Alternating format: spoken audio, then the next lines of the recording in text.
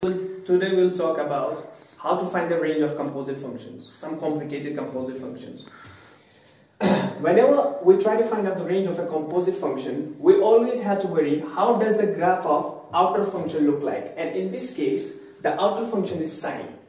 So we have to take care of whether the sine is an increasing function, a decreasing function or neither increasing or neither decreasing function. But if I draw the graph of sine, it looks like a wave. Now, as I can see, if I will look at this graph, I can see the sine from here to here is increasing function, from here to here it is again decreasing, from here to here it is increasing and again it is decreasing. So I came to know that sine x is neither increasing nor decreasing. N-I-N-D, neither increasing nor decreasing. So later on, this concept is going to be too crucial in order to get the range of this function, this entire function that is sine of 3x squared plus 4x plus 5. Now the first step that we need to take care of is we need to find the range of the inner function. So how can I possibly find the range of inner function? So let me assume that inner function is f of x. So it is 3x squared plus 4x plus 5. So as I can see this, this function is a parabola. How I came to know that? Because it has x squared, it has x as well as a constant term in it. So, in order to find out the range of this, I need to do two things. First, I need to find the minimum value for this function as well as the maximum value for this function. Now, as I came to know, the quotient in front of x squared for this parabola is positive. So, a is greater than 0.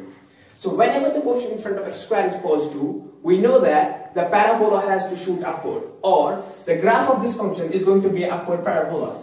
No matter how the parabola looks like, it's always going to be an upward parabola. Now I'm drawing the sketch, uh, I'm drawing the rough sketch here. It does not have to exactly look like this. It can be, it can be in any quadrant. But in order to understand the minimum value that I can find for this parabola, is going to be at the vertex because it is an upward parabola. So somehow, if I will be able to find the y value at the vertex, so I will be able to find the minimum value for this parabola. So one thing that I know about this parabola, that is the minimum value at this point is going to be is going to be at the vertex. So how can I possibly find the minimum value? So I know that at the vertex that derivative is equal to 0. So what can I do for this function? I can set derivative equal to 0. And at that point, I will find the x value and plugging that value into the original function, so I will be able to find the minimum value for the parabola. So what I'm talking about is this. So I have f of x is equal to 3x squared plus 4x plus 5. So I'm going to take the derivative of it. So I'm going to do f prime of x. So derivative of 3x squared is 6x plus 4x is 4 and derivative of a constant is 0 and I'm going to set this derivative equal to 0. Why? Because I'm finding the slope at the vertex. So what I'm going to do after, I'm going to find the value of x. So solving for x here, I'm going to get 6x is equal to minus 4 or x is equal to minus 2 by 3. Now, now this is the x value of the vertex. So I found the x value of the vertex or in other words, this x value is the x value where the slope of the parabola is equal to 0. So if I plug this x value into the original equation, I'm going to get that y value where the slope of the parabola is equal to 0. Or in other words, I will be able to find the minimum value for this parabola. So what I'm going to do, I'm going to plug this value into the original equation. So it's going to be f of minus 2 by 3. So it's going to be 3 plugging minus 2 by 3 in place of x is going to be minus 2 by 3 square plus 4 into plugging minus 2 by 3 into x as well. So last I have 5. So one thing that I need to take here, here is I never need to plug this x in the derivative equation because if I do that, this is going to be wrong.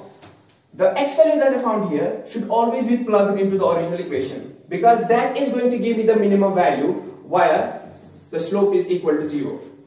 So solving this is going to be 3, 2 square is 4 and I'm going to get 9 here plus minus 8. So sorry, it's going to be minus 8 by 3 and I'm left with plus 5. Okay, so doing some cancellation, 3, so I'm left with 4 by 3 minus 8 by 3, okay, multiplying it with 3, so it's going to be 15 by 3. So that I will get the denominator equal in all three cases. Then solving for it, in numerator I'm left with 4 minus 8 plus 15 divided by 3 and solving it 4 plus 15 is 90, 90 minus 8 is 11 so I'm left with 11 by 3. Now this 11 by 3 is the minimum value for the parabola or in other words it is the value of the vertex. So this is the minimum value for the parabola. What is going to be the maximum value? Okay, the parabola is going to shoot toward infinity. So it's going to approach toward infinity. So minimum value is 11 by 3. So it's not going to exactly look like this. 11 by 3 is in first quadrant. It's going to be somewhere here. We got a negative x as well a positive y. So it's going to be in the second quadrant. So the graph will look some something like this because the vertex of the parabola has negative x and positive y. So negative x lies here, positive y lies here. So the vertex of the parabola is going to be in the second quadrant. But I don't need to worry about that. I just need to worry what is the minimum value of the parabola. The minimum value of the parabola is 11 by 3.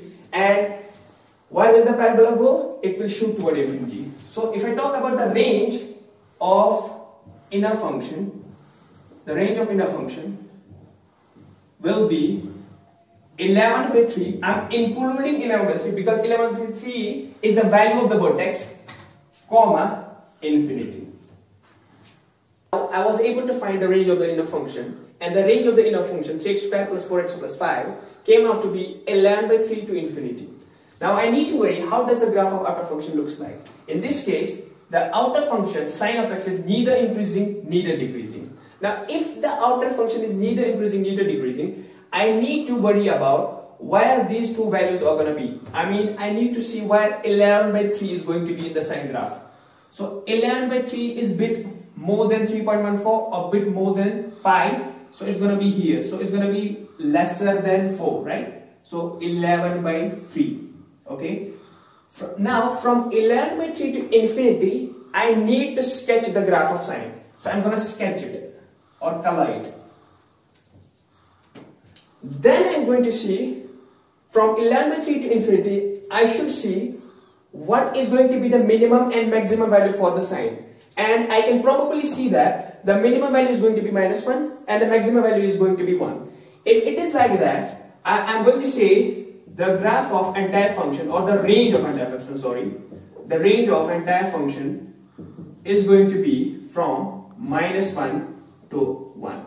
So the range of sine of 3x squared plus 4x plus 5 is from minus 1 to 1. You might think, wait a minute, why we did, why we did all kind of this work? We simply would have found, found the range of the outer function, that sine of x. Because later on, when we found the range of this entire function, the range came out to be minus 1 to 1. And the range of the sine x itself is from minus 1 to 1. But it is not that way. It does not mean, does it mean that out, whatever the range of the outer function is, that is going to be the range of the entire composite function? I might say no. How? See this example. If I have a function uh, sine of x, sine of, suppose I have another composite function, sine of pi square by 16 minus x square. Now, if you're familiar with this kind of graph, square root of pi square 16 minus x square, I'm gonna set it equal to y for a second. So it's it is pi square by 16 minus x square. Squaring both sides, it's y square is equal to pi square by 16 minus x square bringing x on this side so it's going to be y square plus x square is equal to pi by 4 whole square. So I came to realize the inner function that is in this case is going to be a circle. But wait a minute it is not an entire circle. It is a semicircle because it's only going to be defined for the positive y values as I can see from the square root because square root can only take positive values or give me positive values. So in this case, if I try to draw the graph of this function, that is a semicircle, it will look something like this. Why like this? Because y is only going to be defined for the positive values. So it has to be in the first and the second quadrant. From this part, this part of the graph is not going to be defined for this. Okay, now as I came to know the graph of this function looks like this, now I need to worry how does the range of this function looks like. Now I can see that the it looks like a semicircle. The inner function is a semicircle whose origin is at the center and it shoots toward pi by 4 because the radius of this circle semicircle is pi by 4. So the range of the inner function that is square root of pi square by 16 minus x square is 0 minimum value here, here as well, and the maximum value is pi by 4. So it's going to be 0 including pi by 4 as well.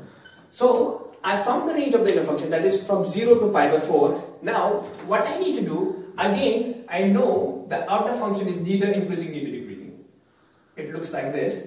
Now see, from 0 to pi by 4, I need to look how does the graph of sine look like. Now I can see from 0 here to pi by 4, somewhere here, pi by 4 is 45 degree.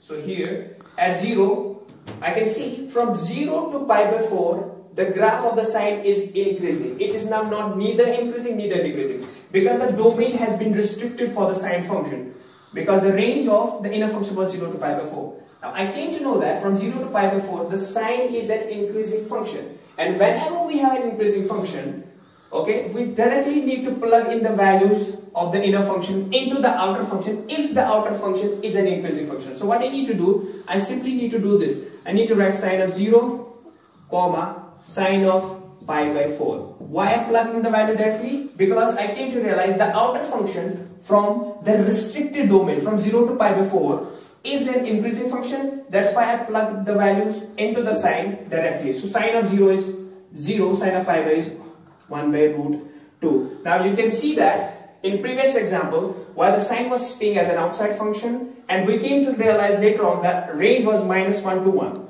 But see in this case, the range of the function is only 0 to 1 by root 2. And again, the sine is sitting as an outside function. It does not mean if the sine, sine is an outside function, for the composite function I meant to say, it does not mean the range has always to be minus 1 to 1.